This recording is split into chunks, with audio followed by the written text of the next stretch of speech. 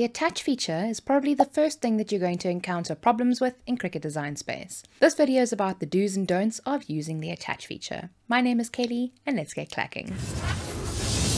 The attach feature is something that you will use when you want to keep your design together when you go to make it.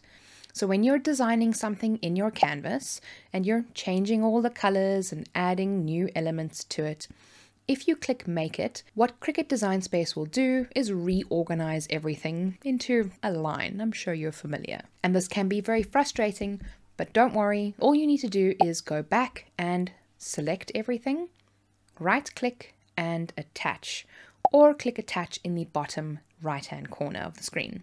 This feature is used when you have more than one layer. So if you have one layer only, you won't need to attach anything.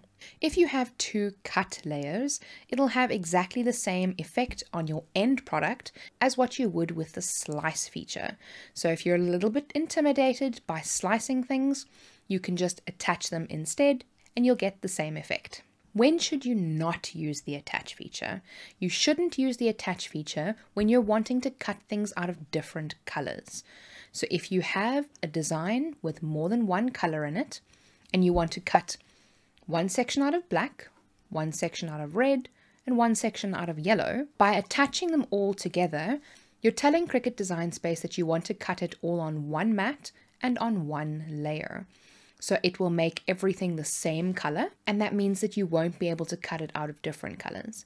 So if you have a few different parts that you want to cut out of red and out of yellow, you will need to separate those from the main design and attach those pieces together. So each color should be attached separately.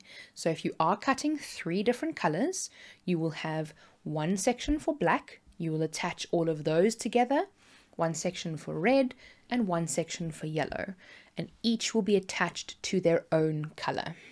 You'll also use the attach feature when you're wanting to combine more than one operation.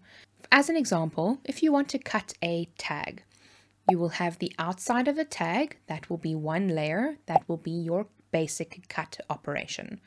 Then you will have another layer on top of that, and that will be your pen function or your draw layer. In order to get these to draw and cut in a very specific location, you will need to attach them together. Of course, you can also add scoring and debossing and foiling, all of those kinds of things. You'll just need to make sure that if you want things to happen in a very specific place, that they are all attached. Every now and then, I do notice that the attach feature doesn't work. So you might need to attach twice and you'll be able to tell on the right hand side of the screen on the layers panel because it'll say attach at the top and it'll have a little group and you can collapse that group make it smaller, and then you'll know that everything is attached to each other. Or just click make it, and then you'll see everything jumbled up on the make it screen, then you know that it's not attached. Next up, we have the flatten feature. So watch this video and I'll see you there. And remember, be kind to someone today.